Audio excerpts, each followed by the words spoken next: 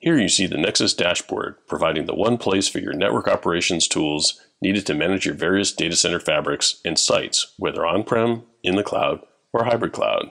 Accelerating hybrid cloud operations with agility is a must-do imperative for enterprises in today's app-first world. Today, we'd like to share with you how the Nexus dashboard and its services are the counterpart for the NetOps and infra teams that deliver the secure cloud connectivity as the foundation for IT cloud adoption, including private cloud, multi-cloud, cloud first, and cloud-only approaches. Let's meet Stacy, NetOps team lead from a large financial services company who runs multiple data centers across the world with connectivity to the multi-cloud with both AWS and Azure. Stacy is concerned about the onerous process of keeping track of individual data centers and is looking for a global view for all the environments as it becomes very challenging to log into each individual platform. Data availability is critical to her, and for all these key needs, she has deployed multiple local Nexus dashboard platforms and is looking for a way to have a single view on one dashboard across the globe. Let's log into the Cisco Nexus dashboard. This enables the global frictionless monitoring capability. Once authenticated, Stacy sees the Nexus dashboard global map view, which shows all the sites, on-prem and cloud sites. With the new feature, you can have one view of all the anomalies across all sites and clusters. She also has the option of viewing the sites in a table list view that she can scroll through. Noticing the aggregated list of health scores and anomalies across both DC sites and Nexus dashboard clusters, she is focusing on the critical anomaly in DC US West because of concern about the stability of the environment.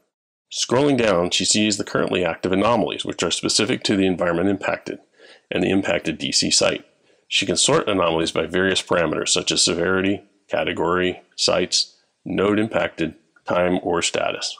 Continuing with the highest order of severity, she selects the critical anomaly. She finds that it is related to an application deployed across hybrid cloud, and she needs to urgently perform further analysis to pinpoint the issue at hand. To better understand the anomaly impacting the traffic flows of enterprise application performance that Stacy is monitoring, she leverages the Analyze function, Nexus Dashboard Insights. She can review the historical events, including faults, to understand the lifespan, topology, and estimated impact of the issue at hand. The Analyze function also displays a topology pathway, the impacted application and infrastructure components, and the estimated impact of the anomaly that is occurring. Reviewing the estimated impact, Stacy chooses to use Nexus Dashboard's new auto remediation feature. She clicks on Fix Issue, and Nexus Dashboard Insights will automatically remediate this critical error related to the configuration and update the fabric state information. Once she sees that the anomaly is remediated, she gets confirmation that the anomaly state is changed to clear in the lifespan section.